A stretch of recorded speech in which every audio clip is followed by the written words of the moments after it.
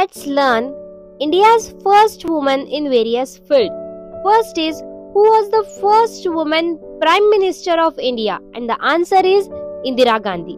Second question is who was the first woman President of India? And the answer is Pratibha Devi Singh Patil. Third question is who was the first woman Chief Minister of State? Answer is Sucheta Kripalani. Next question is who was the first woman governor of the state?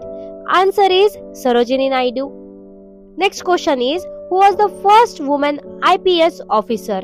Answer is Kiran Bedi. Next question is who was the first woman speaker of Lok Sabha? And the answer is Meera Kumar.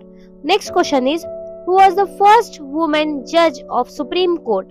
Answer is Justice M. Fathima Beevi.